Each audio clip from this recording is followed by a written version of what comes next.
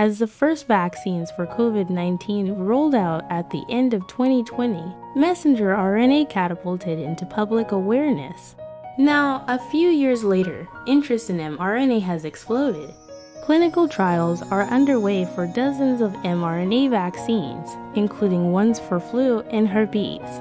And scientists are hoping to use mRNA to treat disease, not just prevent it.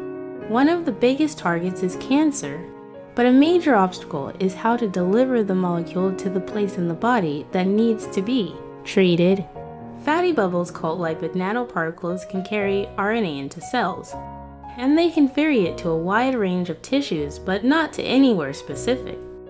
That's a problem for cancer, says Jacob Becraft, co founder and CEO of Boston based Strand Therapeutics because many cancer treatments can be incredibly toxic in off target tissues. But his company may have found a solution. Strand has figured out how to program mRNA much like computer code, allowing it to perform certain functions such as turning on only in specific cell types, at specific times, and in specific amounts. Today, the biotech company announced that the U.S. Food and Drug Administration has greenlit a clinical trial testing the approach in cancer patients with solid tumors.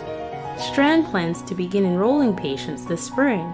It will be the first time a programmable mRNA therapy will be tested in people.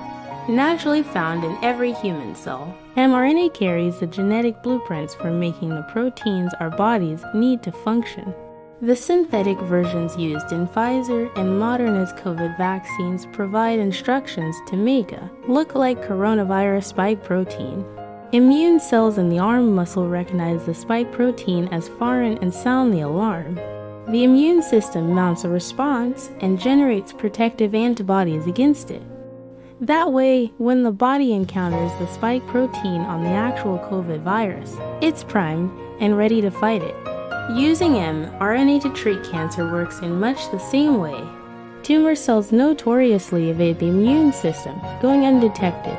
But synthetic mRNA can direct cancer cells to make certain proteins that alert the immune system to the tumor's presence. Strand's therapy uses mRNA to make an inflammatory protein called interleukin 12 or IL 12. That causes immune cells to spring into action and unleash a cascade of events that kill cancer. Cells when and where they detect the protein. What mRNA does is go into the tumor, and then it causes that protein to be secreted by the tumor, Becraft says. The tumor essentially becomes a factory. Researchers have long idle minus 12 as a potential cancer therapy. But in the 1990s, Early trials of IL 12 were halted when patients experienced toxic side effects. In those studies, the protein was delivered directly into the bloodstream, which activated a severe inflammatory response throughout the body. Several companies have tried to make safer versions of IL 12, but interest from big pharma seems to be waning. Last year, Bristol Myers Squibb dropped its effort, with AstraZeneca and partner Moderna following suit. To keep IL 12 inside tumors, scientists at Strand designed a set of instructions called a genetic circuit that tells the mRNA to make the inflammatory protein only when it detects the tumor microenvironment. The circuit is designed to sense levels of microRNA molecules that naturally regulate gene expression and give off different signatures in cancer cells versus healthy ones. The genetic circuit instructs the mRNA to self destruct if it goes anywhere other than its intended target. We've engineered the mRNA so that they turn off if they go to someplace we don't want them to be. Becraft says. Strand is initially targeting easy to reach tumors, including melanoma and breast cancer, to prove that the approach works and is safe. In this trial, Doctors will inject the mRNA directly into the tumors and then check to see how localized the effect is. In the future, Strand envisions being able to do body-wide infusions of its programmed mRNA to treat tumors in more remote locations. The idea is that the therapy would selectively activate in certain cells and tissues. Philip Santangelo, an mRNA researcher at the Winship Cancer Institute of Emory University, says there are benefits to Strand's programmable approach even with injecting it at the site of a tumor.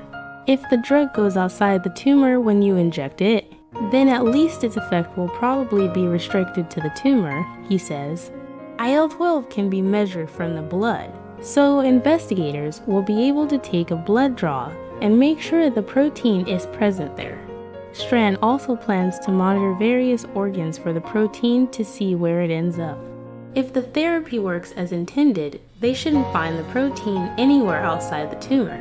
But like computer circuits, genetic ones can occasionally make mistakes, says Ron Weiss, a professor of biological engineering at MIT who co founded Strand and now acts as an advisor. If your genetic circuit makes a mistake 1 out of 10 times, you do not want to use that as a therapy, he says. If it makes a mistake once every million times, that's pretty good.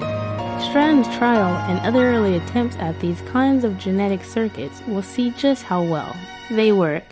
The notion is that genetic circuits can really have a significant impact on safety and efficacy. Weiss says, Weiss pioneered the idea of genetic circuits, the first of which were based on DNA.